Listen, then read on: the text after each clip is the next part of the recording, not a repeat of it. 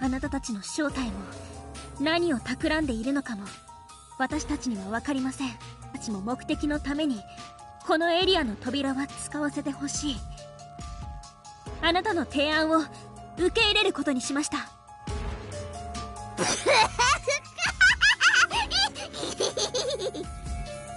ルシルあなたはもういいの？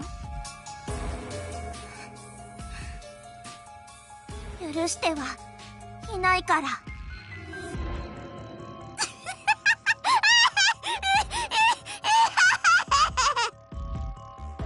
下品な笑いをやめてください。不愉快です。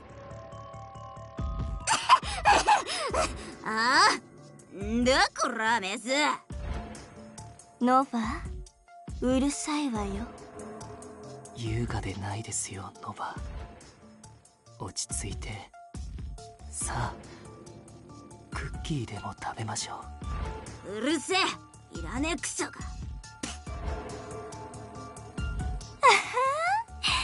上手に感情を出せるようになったわねリリー。あなたの暴走とっても面白かったわよ。人ってあんなに滑稽に踊るんですね。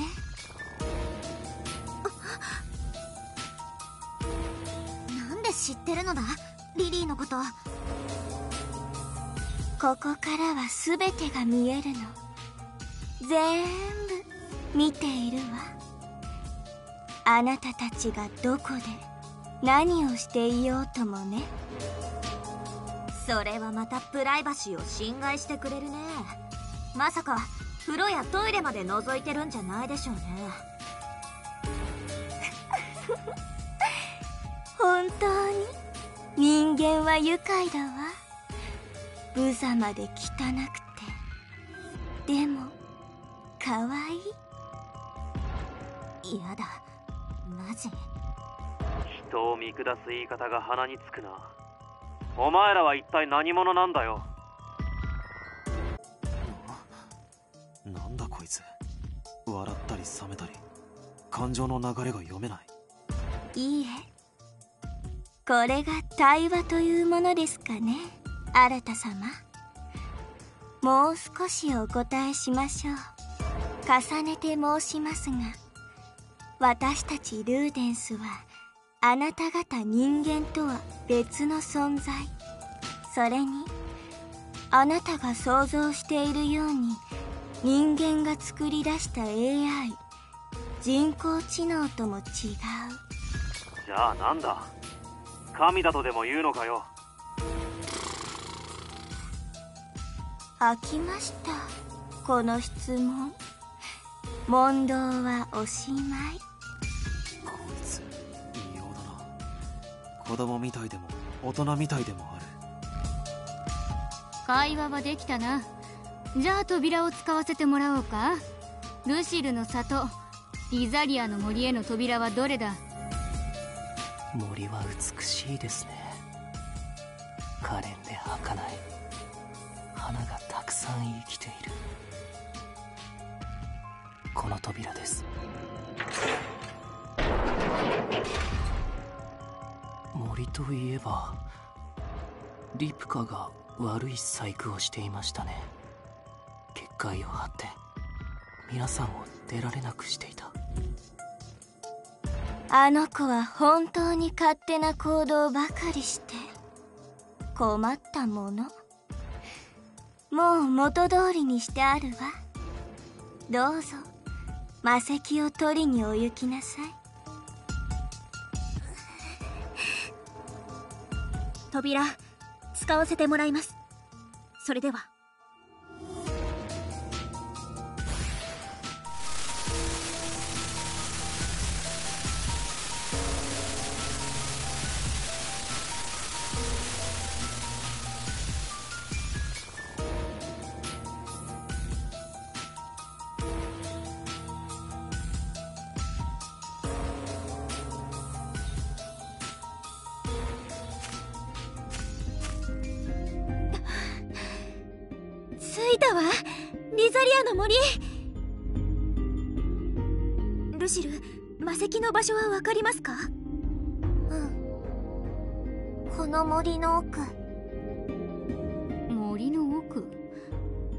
ルの故郷緑の幻宮にあるんじゃないのかい？違う。森の奥にある精霊の祠の中に安置されてる。私子供の頃に見たことがある。っていうかさその緑の幻宮にも海底神殿と同じターミナルがなかったっけ？わざわざ海底神殿に戻らなくてもそこからオデュッセイヤに行けばよくない？できればそうしたかったんですが。お？なんだいその反応？嫌な予感しかしないんだけど。前に緑の幻宮に行った時にリプカというルーデンスに里が襲われて里の人たちがたくさん殺されたんです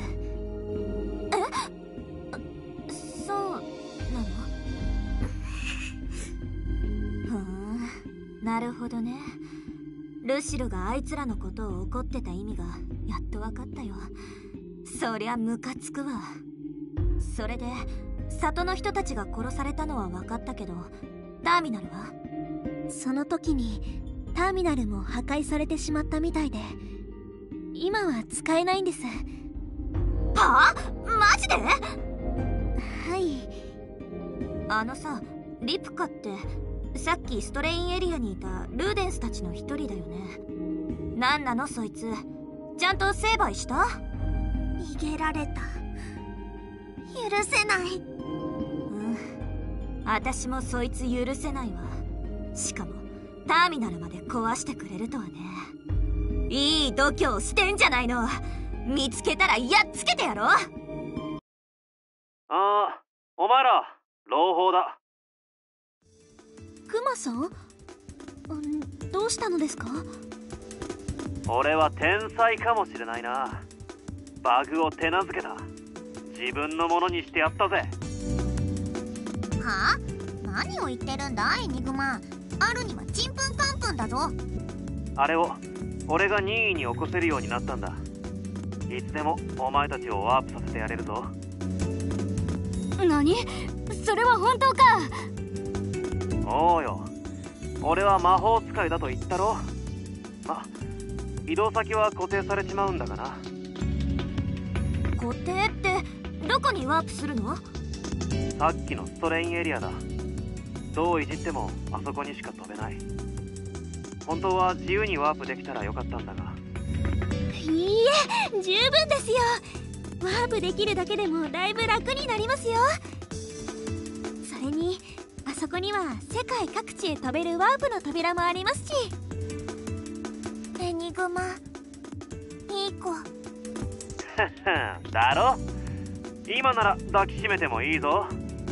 なでなでルシル私も抱いていい？ダメです。調子に乗っちゃいけませんよクマさん。褒めてはあげますけど。じゃあ先へ進もうぜ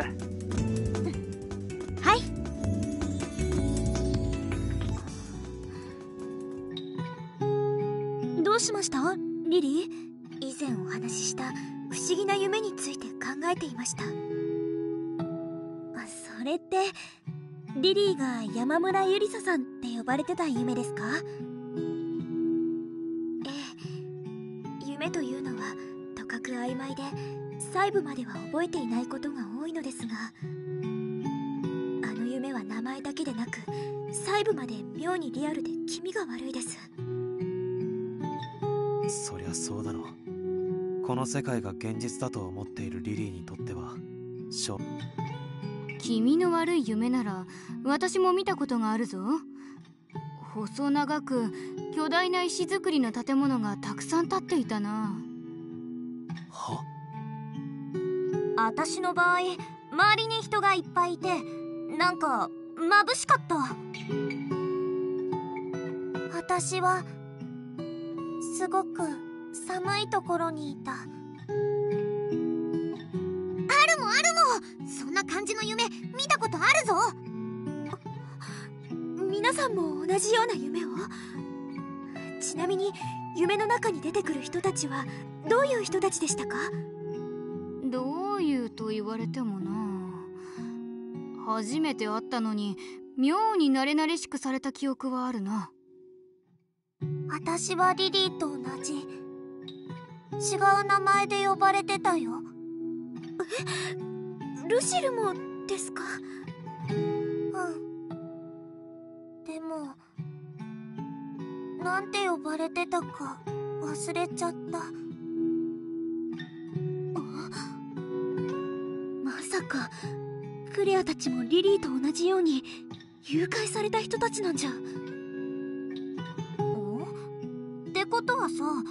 みんな同じような夢見ちゃってるってこと？同じかどうかは知らんが似てはいるんじゃないか？ねえ。なんか変じゃない？これってもしかして前世の記憶ってやつじゃない？うわ前世の記憶ですか？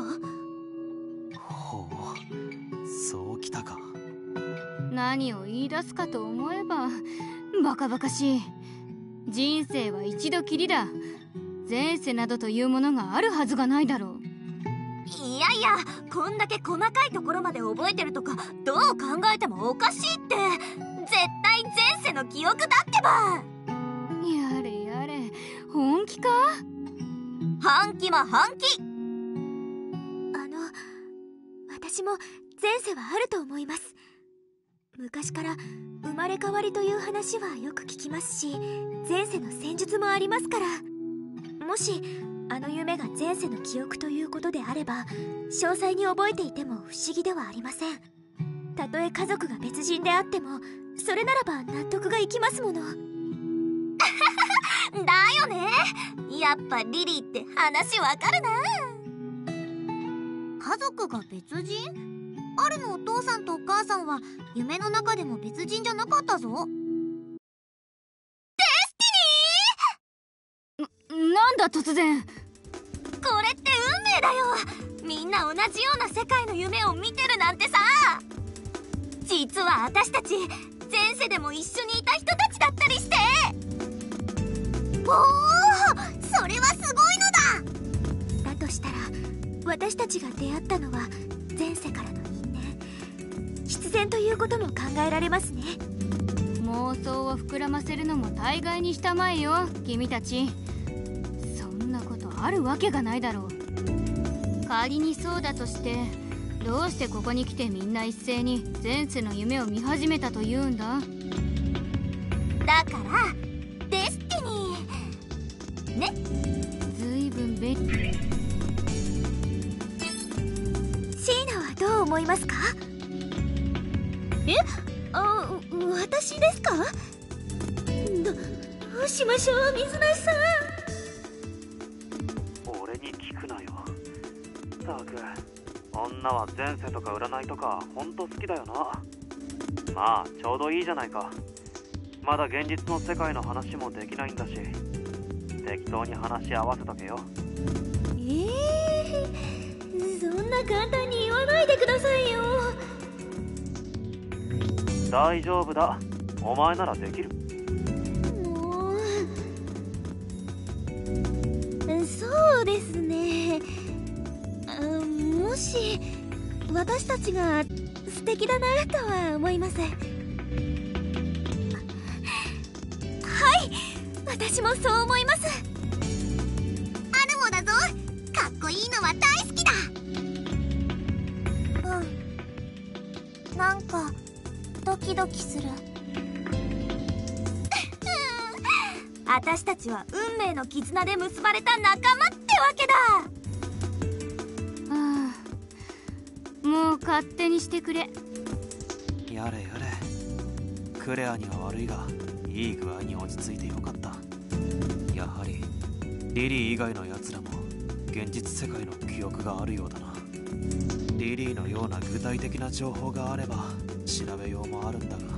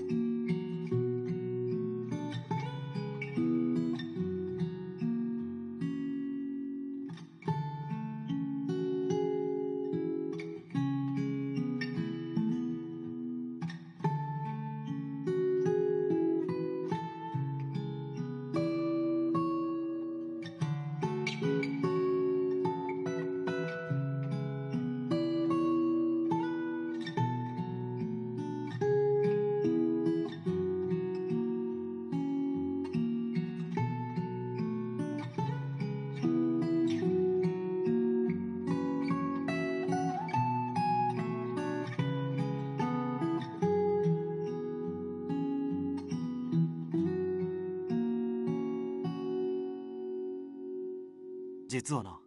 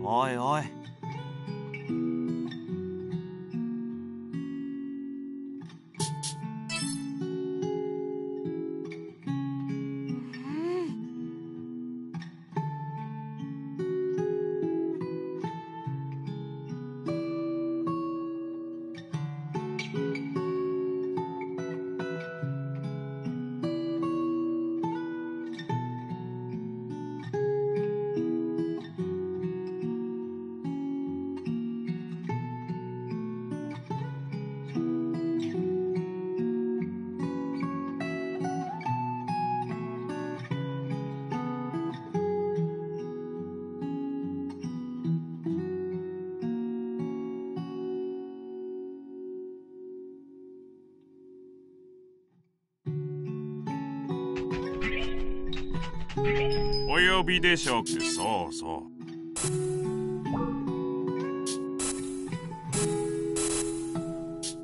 お呼びでしょうか。良い品を揃えておきました。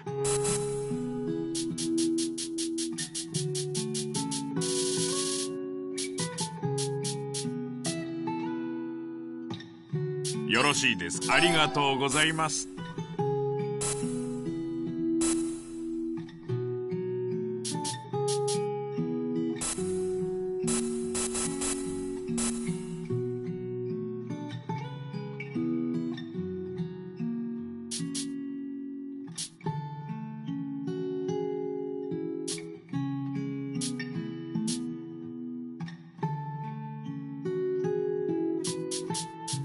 しありがとうおよそれでは。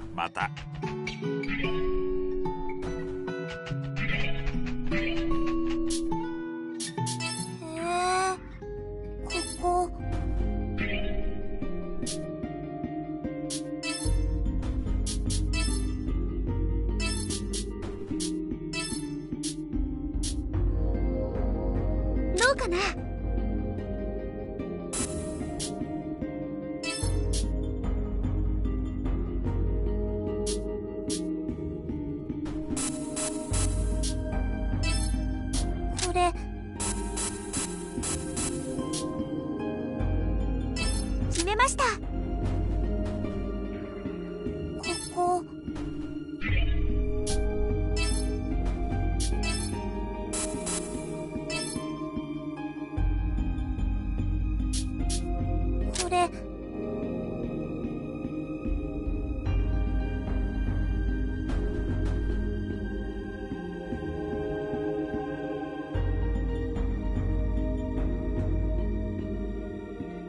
ぱりおかしいです。ここのマーターズも強くなってる気がします。ああ王宮の奴らもそうだったがレベルの上がり方が異常だな。モンスターの体の構造を無視した力で攻撃してくるから筋肉が断裂して自滅してるやつまでいたぞ。とりあえず一人で突っ走らないよう協力しながら戦おう。気を抜くな。特にセリカ。私？君が強いのはよくわかっているが見ていると立ったり相手を挑発するような動きはやめた方がいい。ええそんなことないよねあるセリカ様やってるであります。乱暴な戦い方。確かにお尻を手で打って敵に向かっておいでおいでしているのは目に余りました。敵に唾吐くのとか伝説の冒険家のやることじゃない。あと敵に向けておっぱいを寄せる意味もあまりないかと。エニグマ。みんながいじめる。お前めちゃくちゃだな。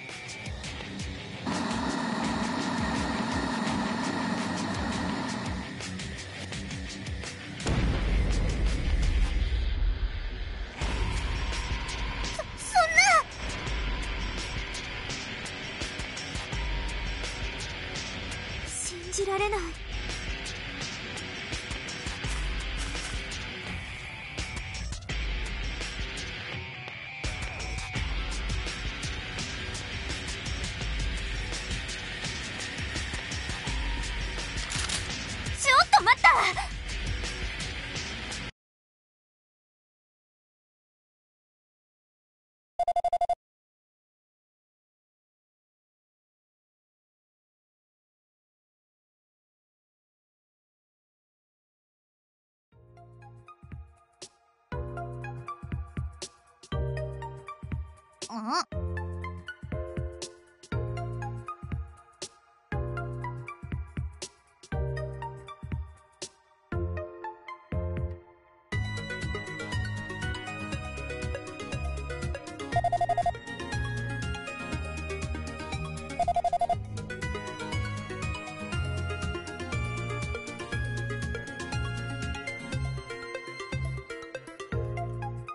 どうだろう？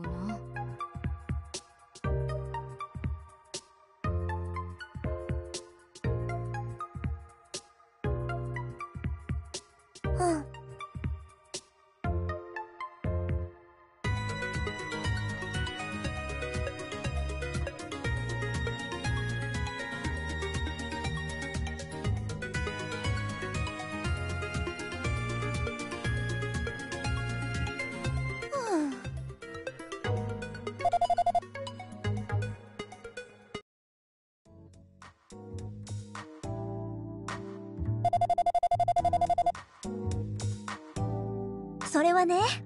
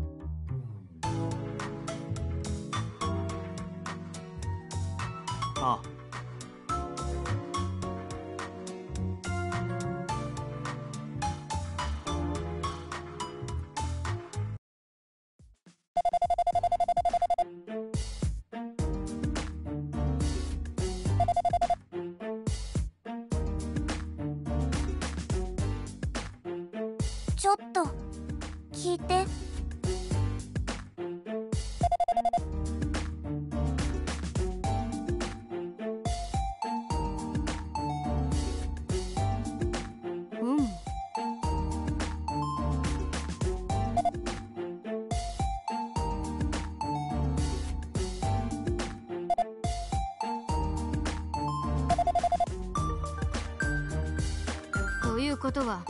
つまり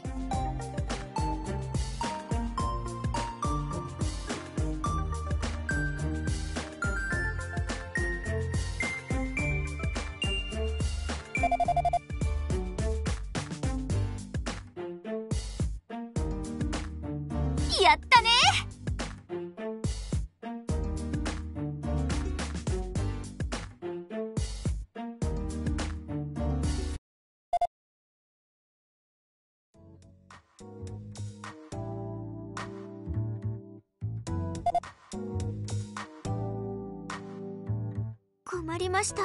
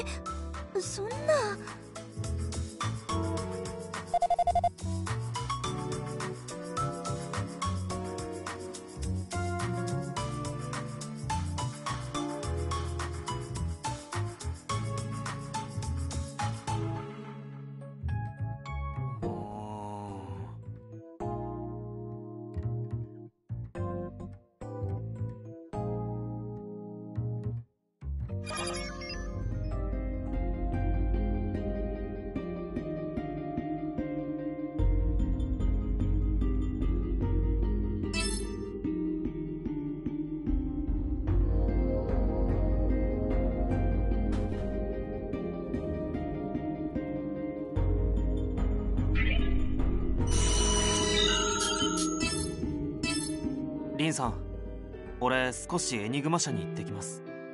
アグル社に関するデータを探したいので。でしたら私も用があるので同行します。あ何か取りに戻るんだったら俺取ってきますよ。ありがとうございます。ですが一緒に行きましょう。一人より二人の方が何かあった時も対処できると思いますし。確かにそうか。わかりました。じゃあお願いします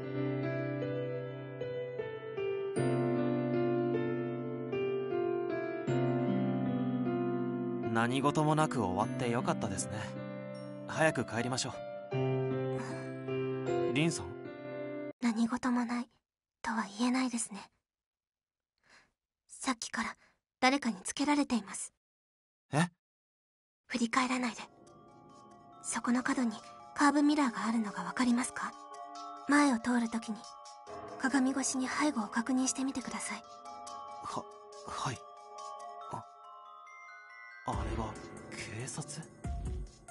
指名手配犯がうろついてるとなれば尾行も当然か。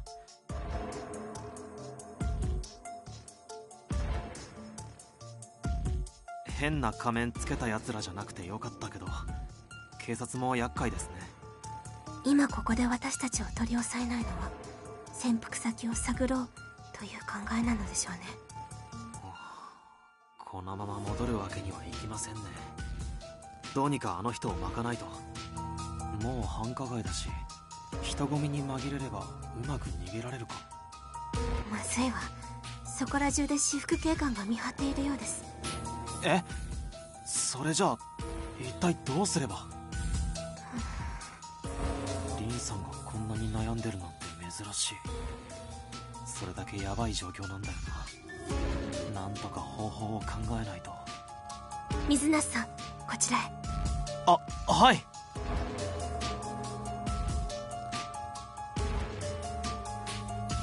路地裏？ここでしばらく身を潜めるってことか。でも大通りに出ればすぐにバレるんじゃ。リンさん？なんでゴミ箱なんて漁って？え？どうぞ。急いでこれに着替えてください。なんで服が？っていうかこの服いざという時のために先日いろんな場所に変装グッズを仕込んでおいたんです。あの本当にこれで大通りに戻るんですか？今はこれしか方法がありません。堂々としていれば不審に思われることはないでしょう。平静を保つようにお願いしますね。そんなこと言われても小学生と高校生っていうのはさすがに無理があるんじゃないですか。リンさんは違和感ないですが俺が高校生っていうのはちょっと。大丈夫です。さすがに30前後の男女が学生に変装しているとは誰も思わないでしょうから。堂々としていれば仲睦まじい兄弟にしか見えないはずです。確かにリンさんは32歳には見えないほど小学生が似合ってるけど。今は大丈夫っていうリンさんの言葉を信じるしかないな。行きますよ水無さん。はい。あお兄ちゃんあそこのクレープ食べたいな。え？いやそれはちょっと。じゃあ今度は絶対ね。あああまた今度な。びっくりした。バレないための演技か。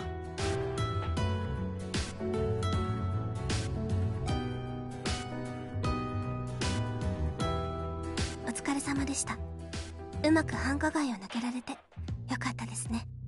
はい。リンさんが一緒で助かりました。いえこちらこそ。あの一応言っておきますが何ですか？そのふりをしたことは誰にも言わないでくださいね。さすがに恥ずかしいので。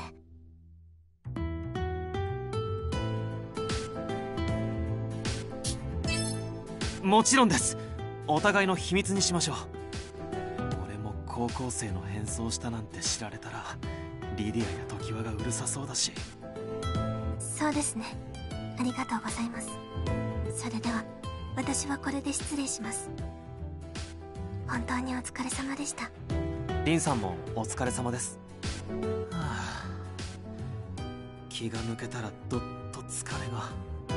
でも無事に逃げられたしリンさんのレアな姿も見れたしこれはこれでいい経験になったと思う。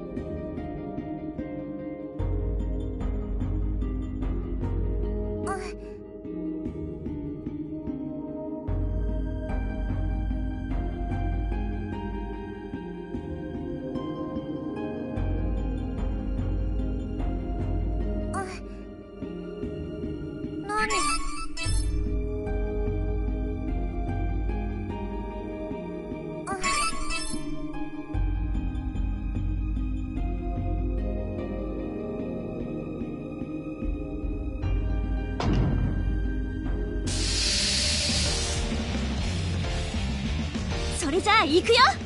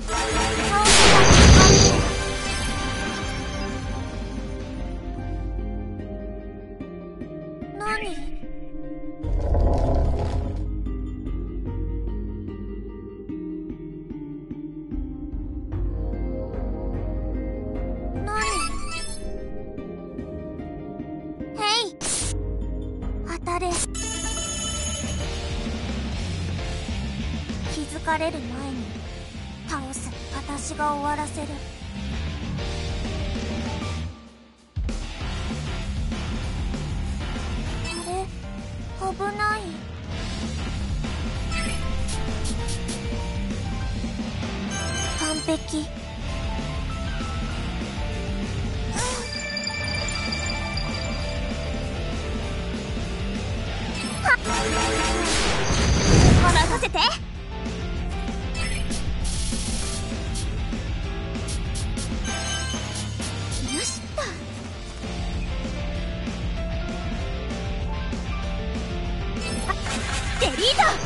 しません。行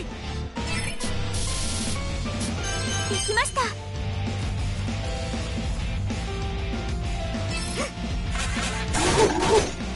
終わったようです。任せろ。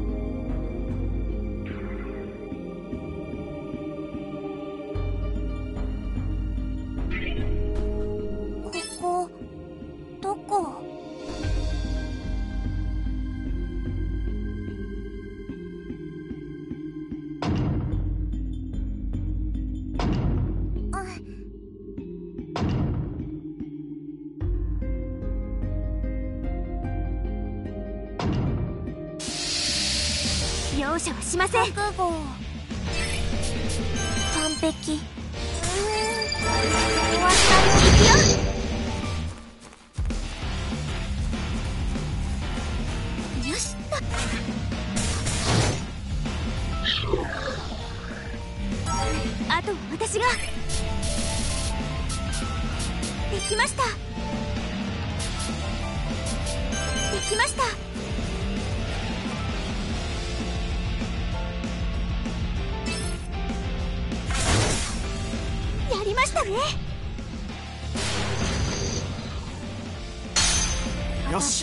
ま押し切れ。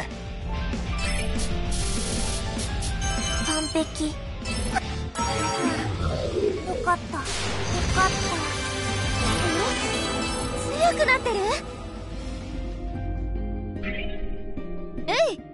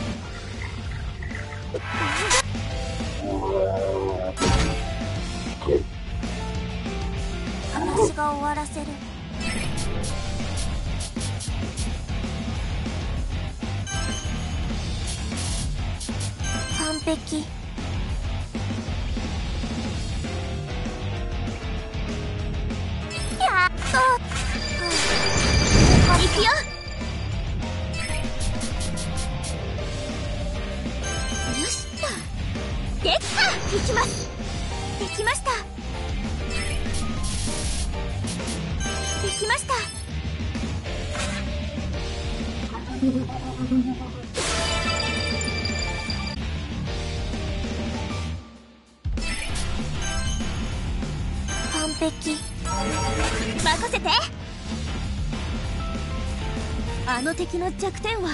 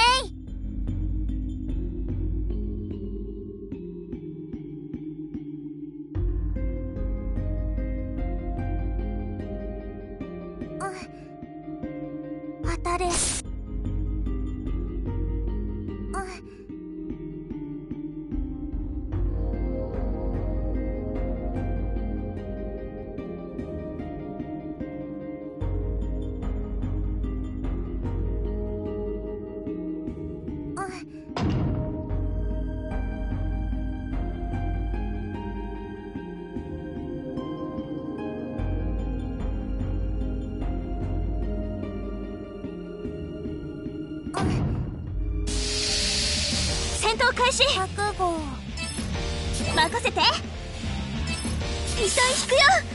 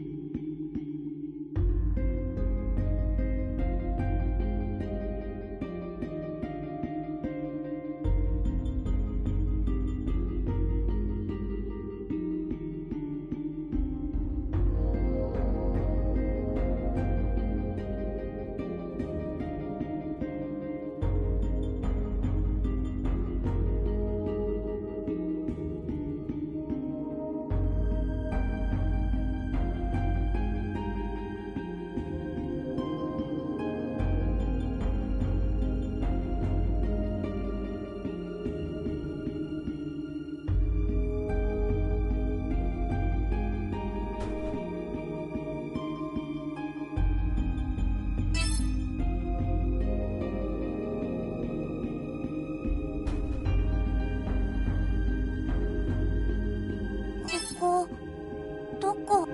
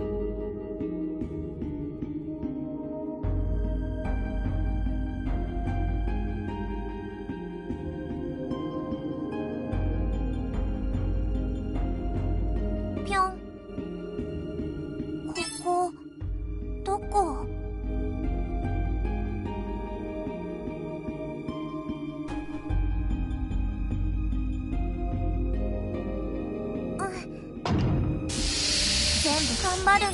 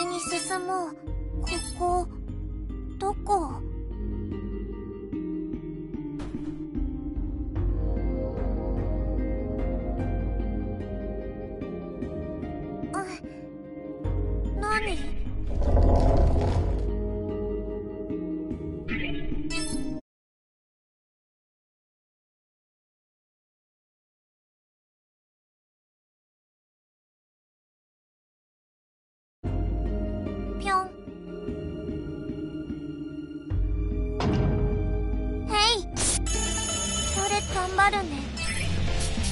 完璧。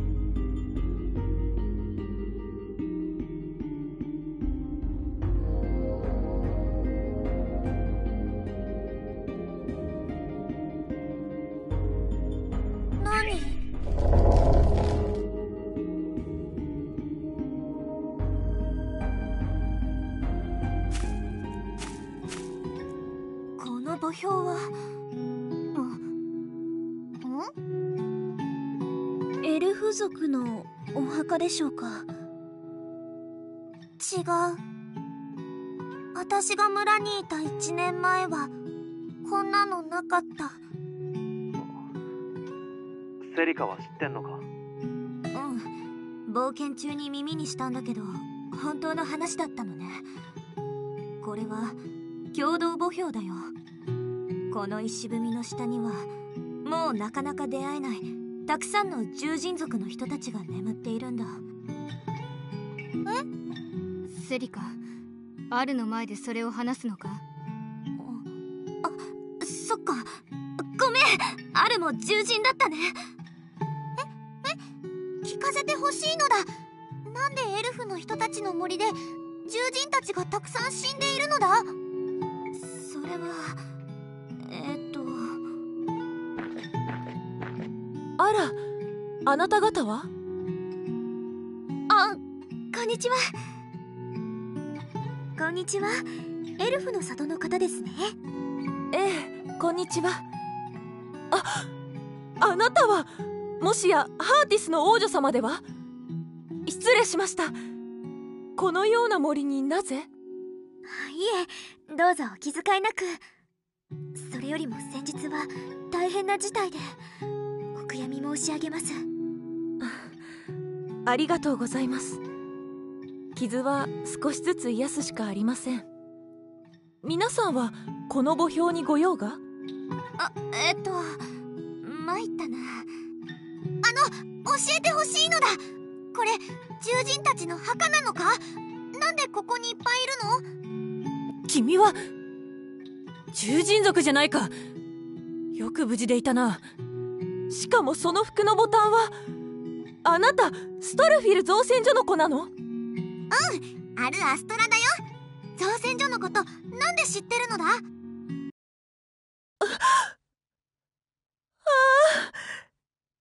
なんてこと？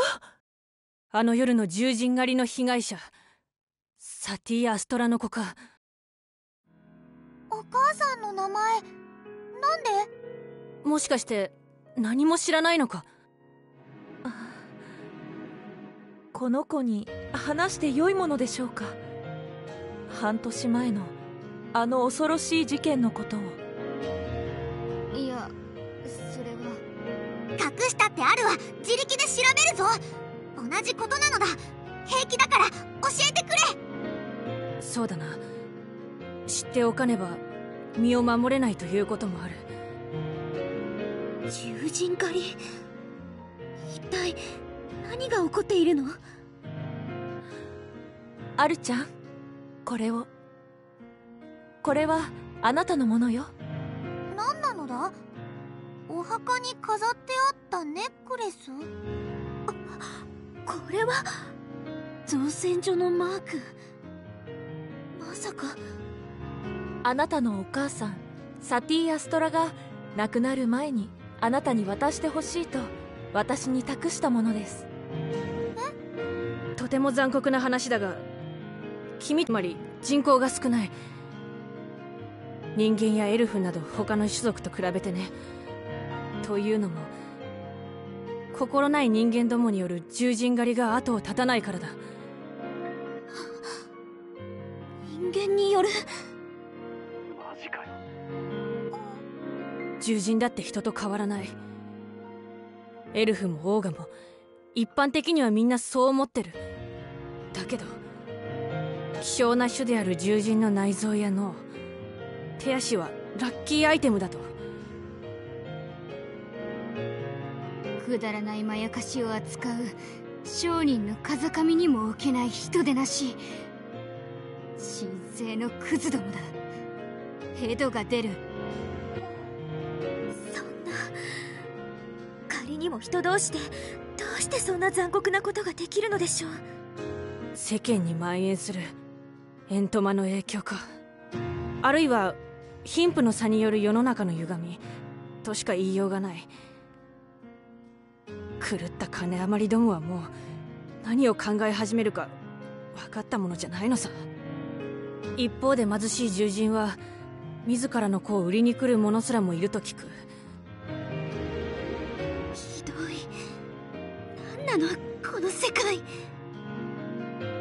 恥ずかしい話だよ人としてゾッとするハンターと名乗るその人間たちは望んだ部位を覗き去った上で犠牲者の亡骸を人目のつかないこのリザリアの森に遺棄してゆくのです。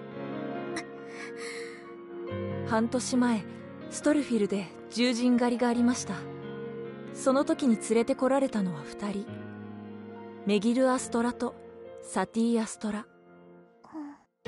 この森で殺害されようとしていたところを私たちが救出したのですが2人とも瀕死の重傷を負っていました。彼らは事切れるまで繰り返していたよ家が襲われた時娘のあるを床下に隠した。助けてあげてほしいと。翌日町へ保護しに向かったがある君はすでに旅立った後だったんだ。あるは確か。家出から戻ってご両親と過ごした夜に気がついたら一人になっていたって言ってたっけ。しかも家の中が荒らされていて。これでお話がつながったわ。もしかして幼いアルの脳は辛すぎて当時の記憶を閉ざしてしまったのかも。心を守るために。ある大丈夫？ごめんね。まさか君の親御さんが眠っているなんて思わなくてさ。何と言葉をかけてよいのか私もわからないですけれど。あるどうか。お？別に平気だぞ。残念だけど仕方ないのだ。アルもうすうす分かっていたし。さあもう行くのだ。ある。お前。なんだ？エニグマ。お前。泣いてるぞ。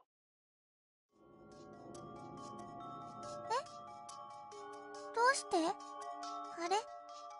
おかしいな。悲しくないのに。泣いてないのに。勝手に涙が出てるのだ。おかしいのだ。何なのだ？これは。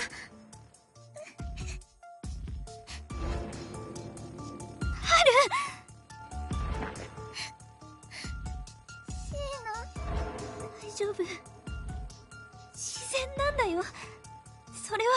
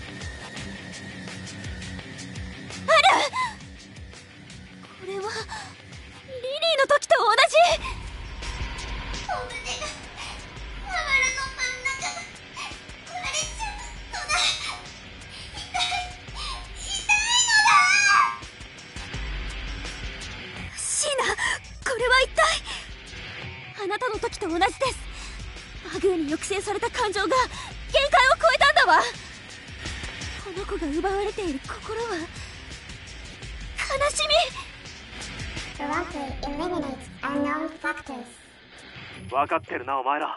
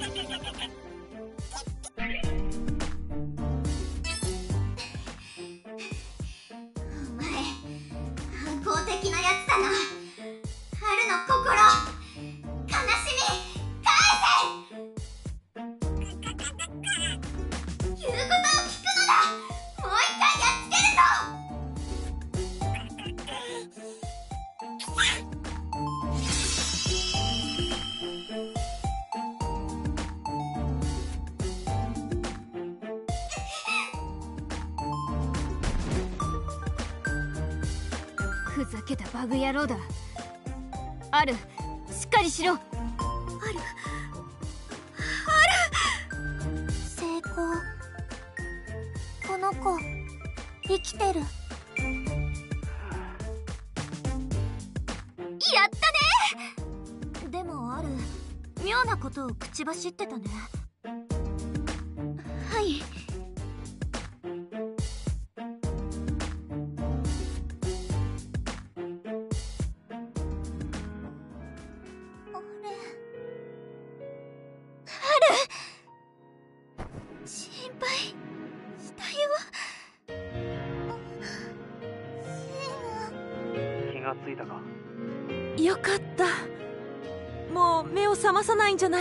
いましたよ。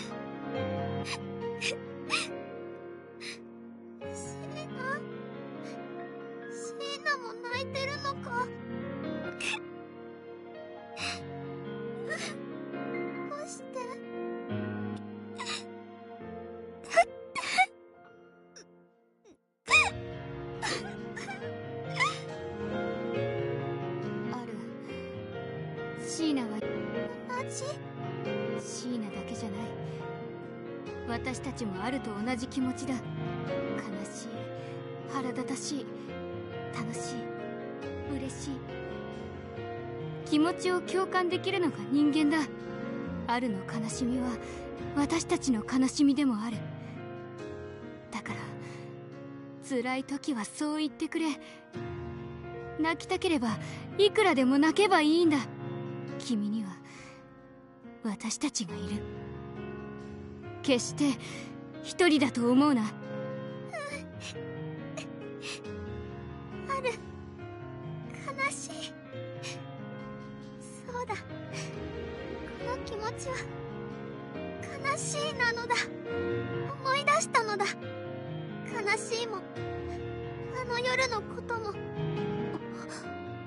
それってあの夜人間がたくさん家に入ってきてアルのお父さんとお母さんを傷つけてさらっていったのだ。アルはお母さんに床下に隠してもらってそれで助かったのだ。なのにどうしてアルは今まで忘れてたんだろう。辛すぎる記憶を自ら封印することがあるんだよ。心が壊れないようにするためにね。不思議なのだ。いっぱい泣いたらちょっとすっきりしたぞ。涙というのはそのためにあるからな。ありがとうなのだ。クレアお父さんとお母さんはいなくなっちゃったけど今はみんながいるのだ。よし。それでいい。クレア優しいんですね。ああ。そんなことはない。私は生き馬の目を抜く世界に生きる行商人だ。気を許すと痛い目に遭うぞ。そうですね。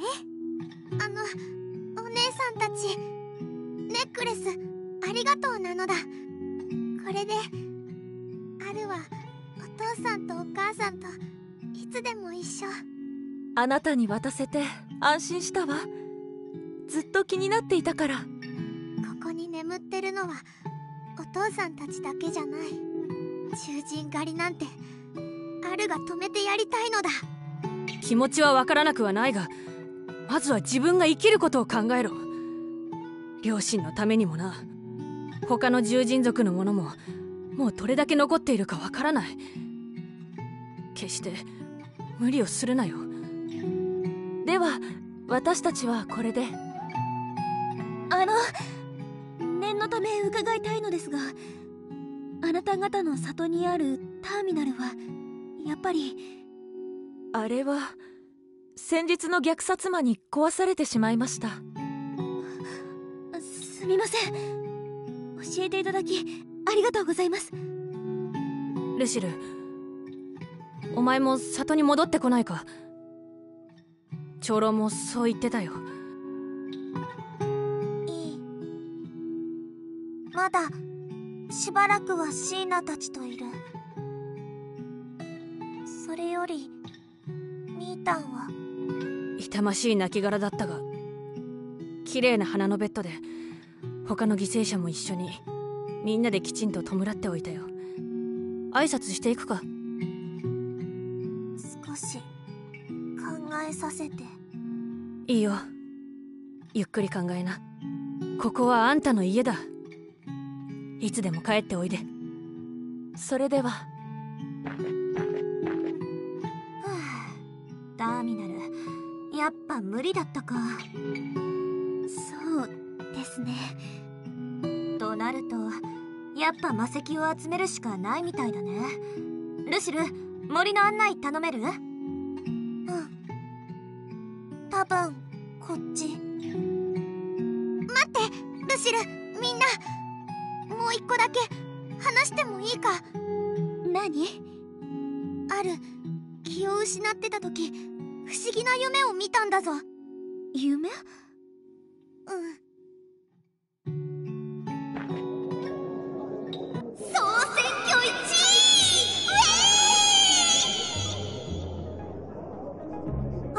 マリクボひなた今日も神押し決めてんね。テレビかじり虫かお前は。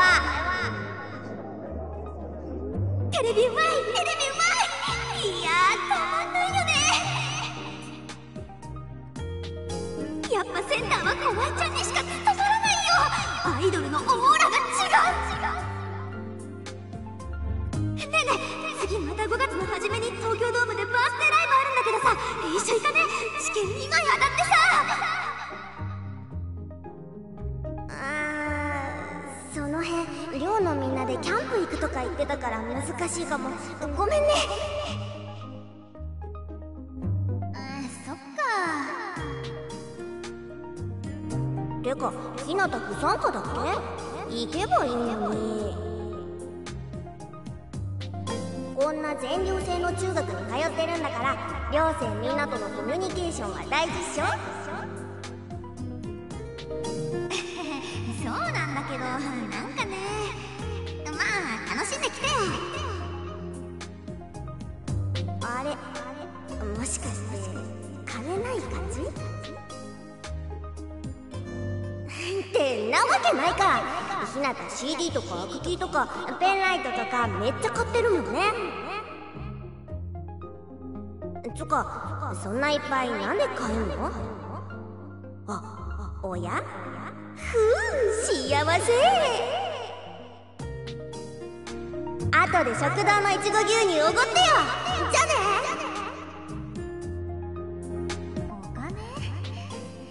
ながご飯とかカラオケとか服とかに使うお金をそっちに回してるだけだよアイドル追っかけてると胸がキラキラで満たされるんだよね私くらいになるともう握手会でも小舞ちゃん認知してくれてるし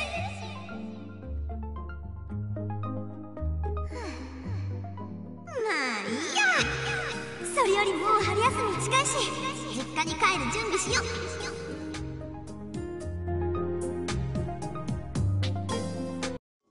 久保ひなた。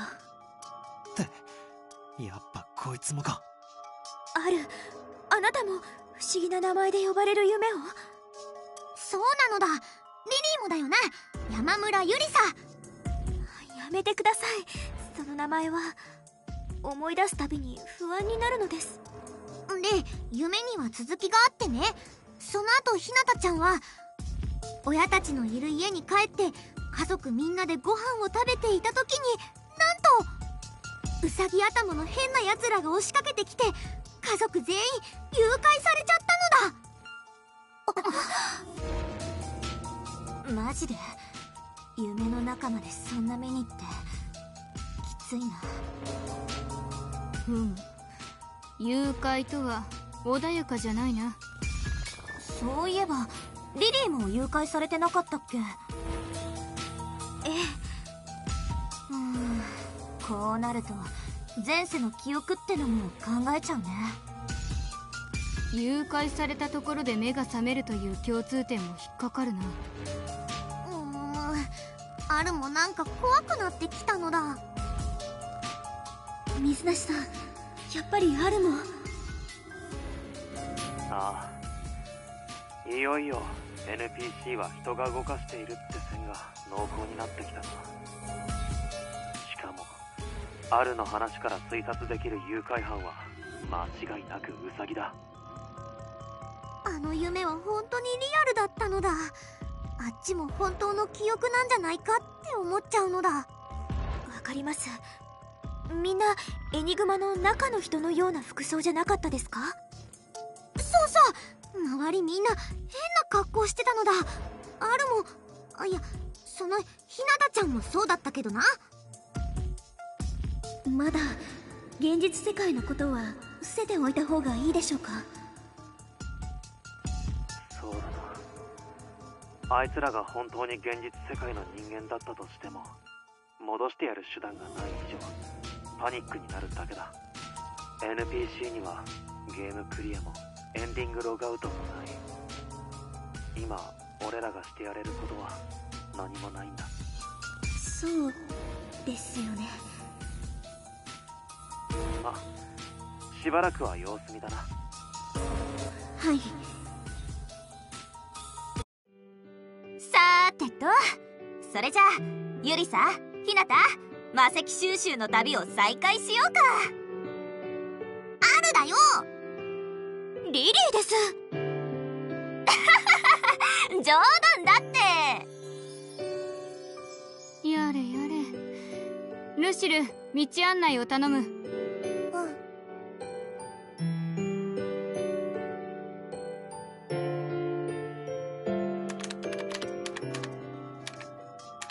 山村ゆりさそして新たに森久保ひなた。やっぱりだ。二人とも行方不明事件の被害者として世間に名前が公表されている。疑惑は確信に変わった。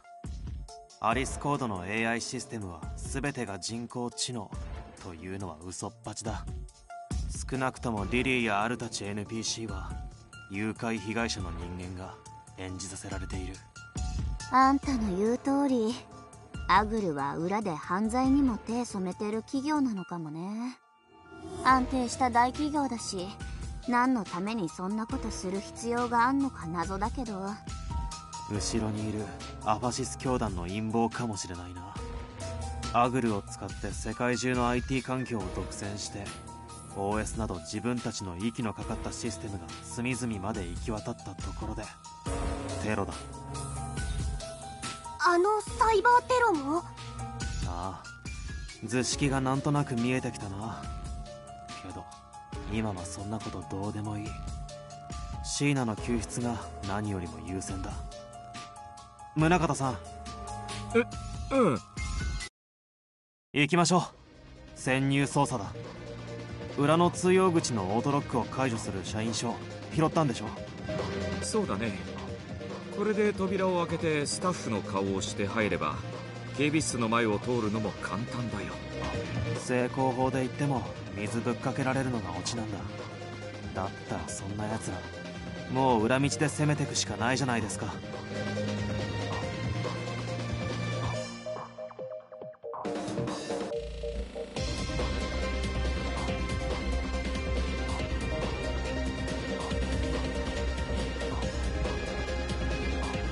そうだけどその今夜じゃなく明日の夜にできないかな。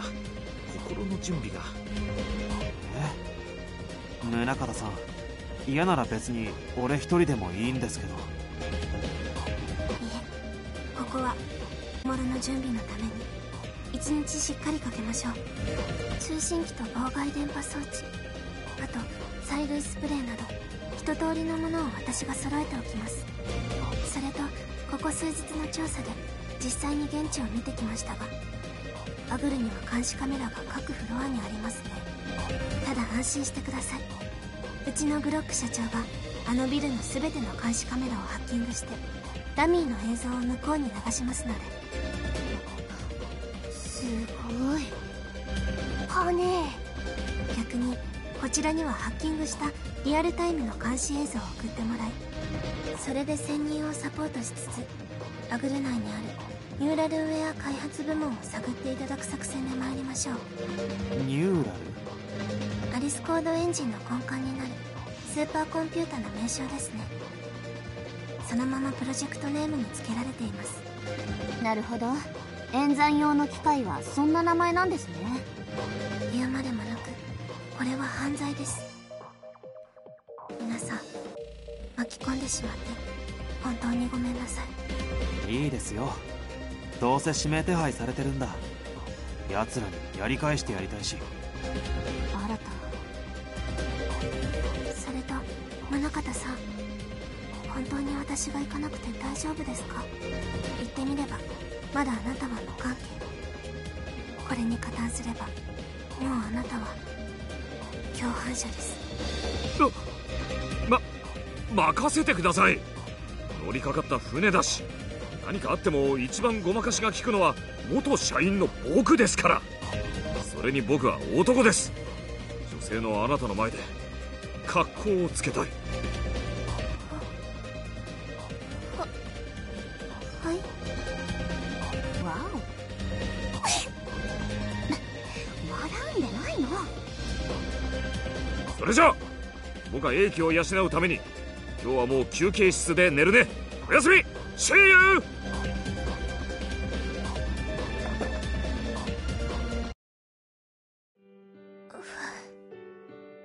は決行は明日の23時で行きましょう。私は社長と話してきます。りんちゃん社長さんっていつ戻ってくるの？まだ海外に？アリゾナでのお仕事がなかなか片付かないそうです。早く戻ってきてほしいですね。うーん。リディアたち会ったこともないもん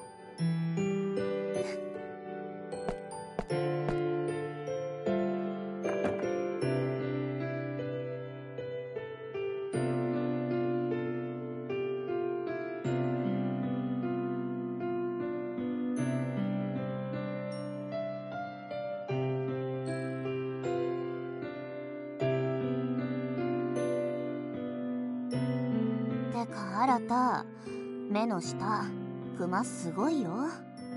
あ本当か？そりゃ疲労も溜まってるっしょ。倒れる前に今日はソファーでなくちゃんと仮眠室で寝なよ。今晩は自分がシーナのこと見てるからさ。そそうだな。ありがとう。礼とかいらないから。自分だってシーナが心配でやってることだよ。あ新たすみちゃん買ってくれた鉄の艦隊ミュージニアのブルーレイ。1話から一気見しない。新たは忙しいのよ。あんたも寝なさい。ええ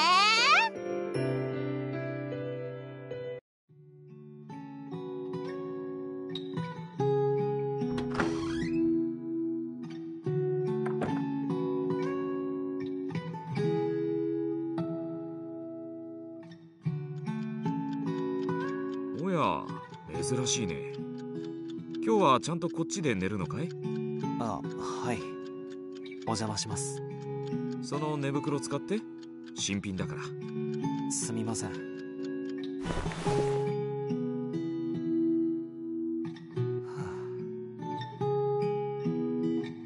あれ？外雨降ってるのかな？そうですね。俺は雨好きですけど。うん。寝る分にはよく眠れるよね新くん行方不明者がたくさんいるって言ってたよね。はい。僕の妹も実はねうちからいなくなってるんだ。半年前くらいからだ。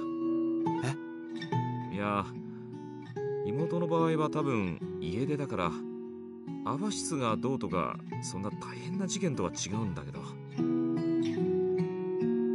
家族がいなくなるって本当に辛いからさ無事に返してあげたいよね。はい。あとさアファシスの連中は君の持っているアイリスだっけ？それを狙って新田君を拉致しようとしているんだよね。ええ。そいつらとアグルがくっついているなら明日は君は行かない方がいいよ。え？僕が一人で潜入してやる。いやそれは。大丈夫。こう見えても僕はティム・クルーズのスパイ映画の大ファンでね。君は一本でも見たことはあるかい？ミッションサクセスフルシリーズ。ないですね。すみません。じゃあ連れてはいけないな。あの映画から潜入のイロハを学んでくれてないなら足手まといになっちゃうからさ。はあ。それにさ君はもうスミカちゃんを泣かしちゃダメだ。え？君が拉致監禁から救出された夜危ないからってみんなを解散させたろ？よほど誘拐された君が心配だったんだろうね。あの後彼女顔を真っ赤にして大泣きしてたんだってさ。絶対許さない。自分がウサギをぶっ潰す。あらたって。男は女子を泣かしちゃダメだ。明日君はリンさんと一緒に指揮官を頼むよ。ま本番での僕のスペックを見ててくれ。おやすみ。おやすみなさい。知らなかった。時はが。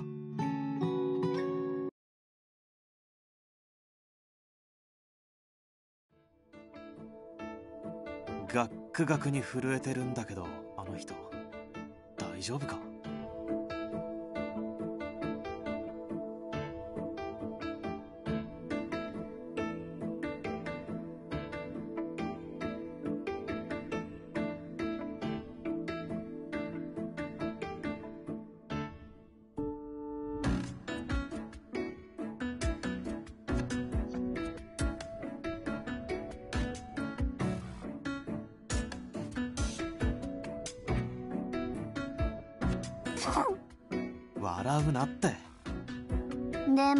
がリンさんの用意した装備だね。最新鋭の機器群だからあんだけつけてもコンパクトで動きやすそう。かっこいい！俺はちょっと怖いけどなリンさんが。聞こえますか宗像さん？小声で話してくれれば俺に直で聞こえます。通信しながら進んでください。で今社長から連絡が入りました警備員が給湯室に入ったようです。今一瞬だけ入り口横の警備室に人がいません。ロックを解除してビルに入ってください。運も味方してくれているみたいだ。今日は警備員の数が少ないようです。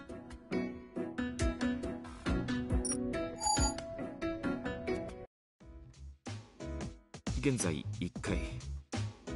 フロア表示板では各種部門の研究開発ラボは20階から25階の5つのフロアが相当すると書かれているけどアリスコード開発の部署がどの階だとか詳細はあえて表記していないね。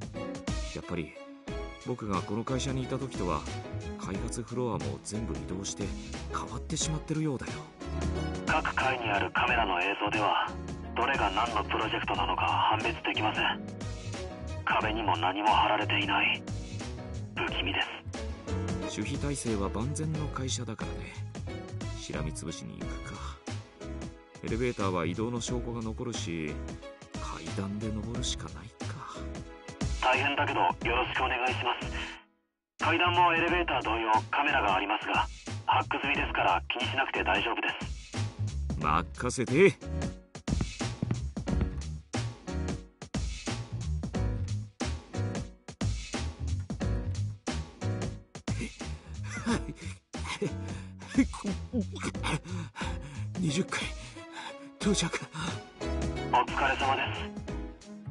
ーでフロアに入ったらちょっと休みますか？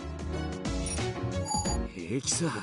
外回りで鍛えた足腰がある。なあ新田君ところで昨日の凛さんの反応。あれさちょっと僕のこと見直してくれたんじゃないかな。はあほら僕は男です。女性のあなたを守りたい。みたいなこと言ったやつさ。はあ微妙に違う気もするけど。どうしました？思えばアグル社員時代。君たちのエニグマに出向してリンさんに一目惚れしてから早数年宗像さやっと少しでも気持ちが通じたのかと思うとさ。やっぱり女性の前で格好をつけなくなったら男はおしまいだよ。なあなたくんそうですね。あとこれリンさんにも聞こえてます。てかみんな聞いてます。ええ二人だけの通信じゃなかったの？あえっと宗像さんはい。そのフロアに熱源反応があります。気をつけてください。はい。ど宗像さん気をつけて。一度物陰に隠れて敵の位置を把握してください警備員かも。わわわかわかった。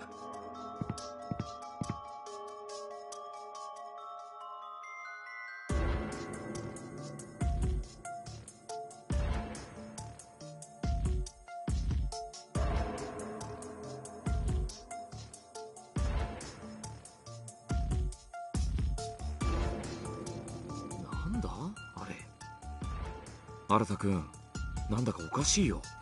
どうしました？こちらのモニターでは詳細がつかめません。目で見てどうですか？背が低い。小さい。あの人影。でも足音は大人だ。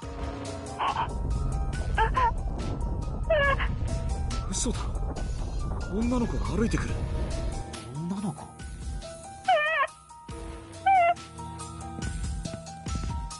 どう見ても尋常じゃない。こんなビルに夜中にボロボロの白いワンピース。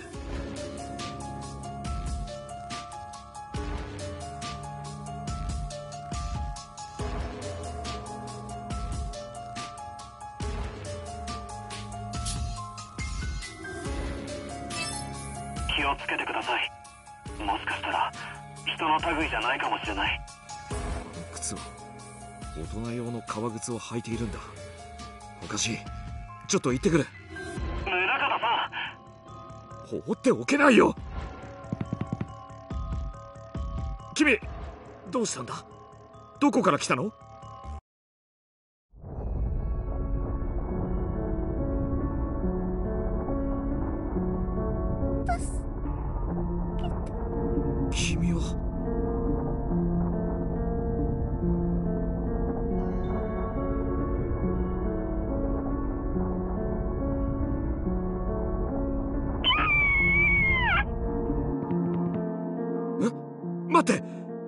君の味方だ。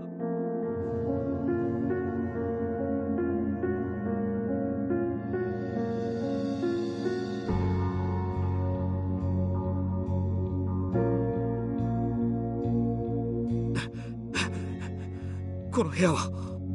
宗像さんちょっと落ち着いてください。ああごめん。女の子は見失ったけど変な部屋の前に出たよ。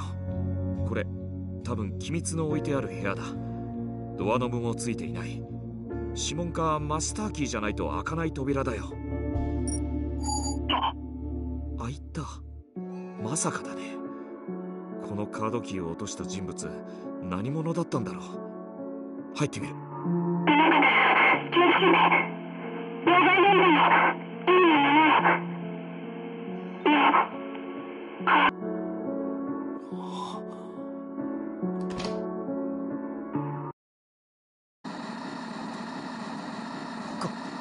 れは？電波遮断攻撃を受けています。まずいです。敵に知られていたのかも。そんなナッツ！宗像さん！宗像さん聞こえますか？宗像さん！聞こえる？新田君リンさん。ダメか。まあいいや。このカメラ僕の視界が録画できてるはずだし後で記録は見てもらえるだろう。えー、部屋の中は真っ白で何もないです。そして奥にはピシッと閉じられた書類の束がポツンと壁の穴に置かれています。なんだろうこれ。手に取りました。見えますでしょうか？これは企画書？ルーデンスプロジェクト。なんだこれは。あ電気が消えて真っ暗。いやこれはブラックライト。ああ！壁中に蛍光塗料で書かれた。数式がびっしり。驚いた。なんだこれ？あっ！あっ！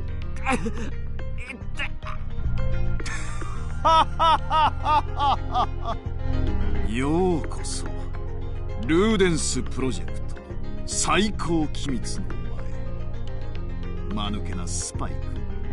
楽しかったかね？どうだ？アクセスキーも手に入り警備員も少なくて潜り込みやすかっただろまさか罠。そう。罠だ。簡単に踊ってくれるなお前もエニグマも。な何が目的だは対等に口を聞くな。捕まったスパイがどうなるかなんてお前の好きな映画でよく見ているだろう。お前はこれからこの世のものとは思えない。攻めくを味わう。負け犬め。人でいられると思うなよ宗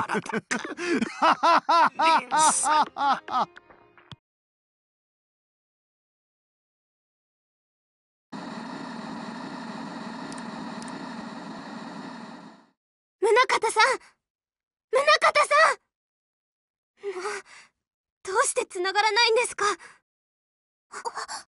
なんて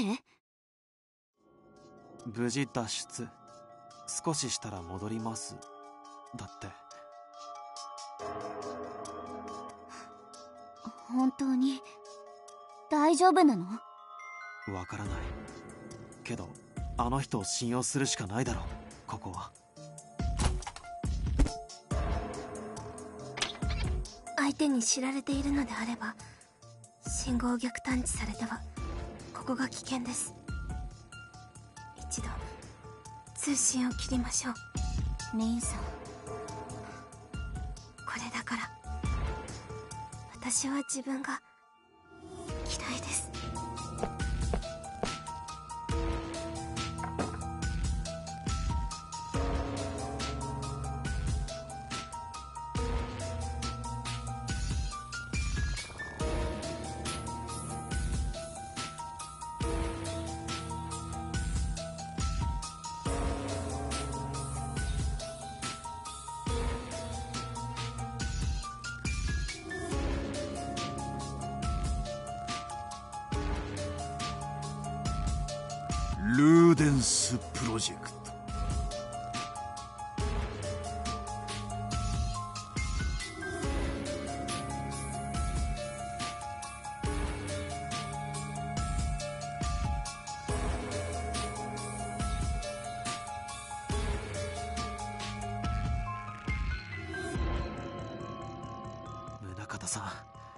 事でいてくれよ。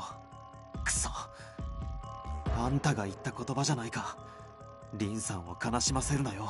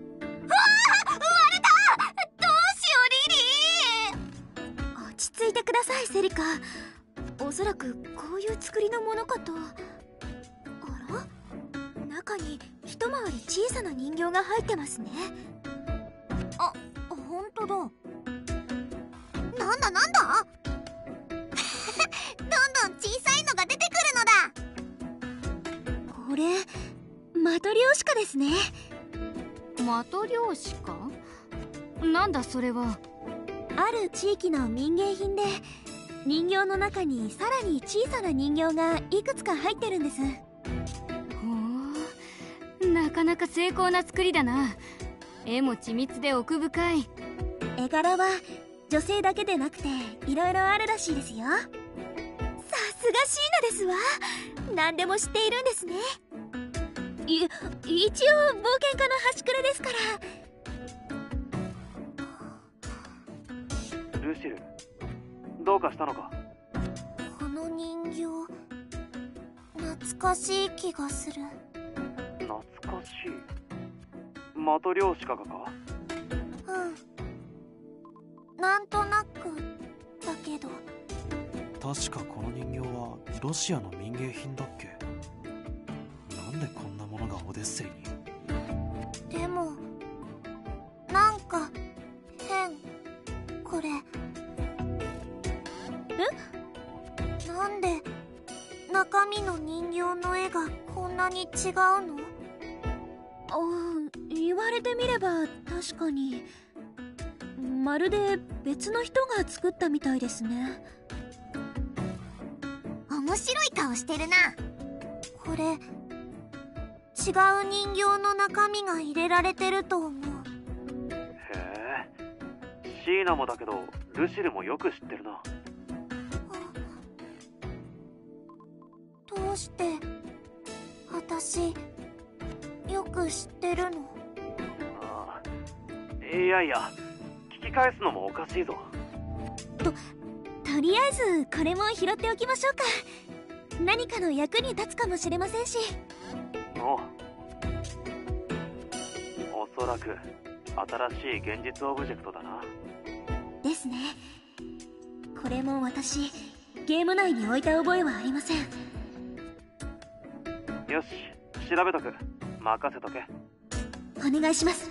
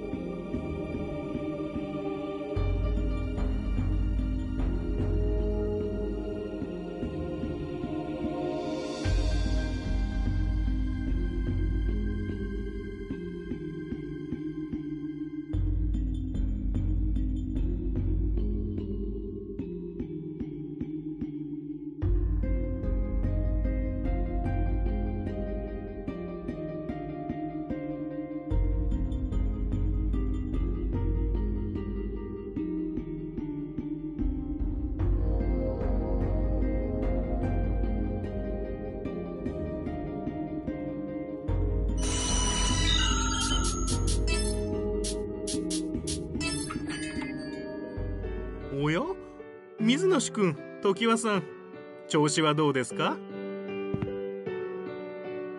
どうしました？二人してずいぶん疲れ切ったお顔をされて何かあったのです？うんいろいろあってね。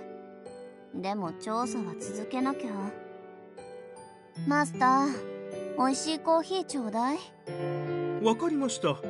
追っ手に見つからないように奥の席にどうぞどうも。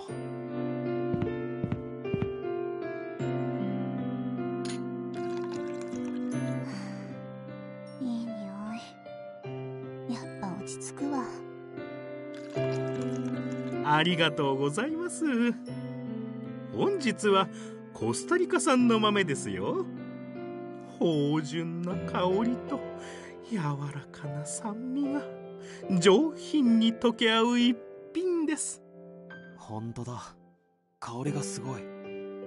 目が覚めます。いやしかし宗像君がそんなことにね。早く元気な顔を見せてほしいですね。水梨君宗像君は自分の意志で自らの正義のために古巣の組織に立ち向かっていったのです。アグル社に対してはいつもアリスコードの窓口だった自分にも責任があるって僕に話していました。今回の事態は誰のせいでもないですからね。気に病んだりしたら彼がかわいそうですよ。我々はただ無事を祈りましょう。スター。その後何か変わったことは起きてない？オカルト界隈でさ。ん？そうですね。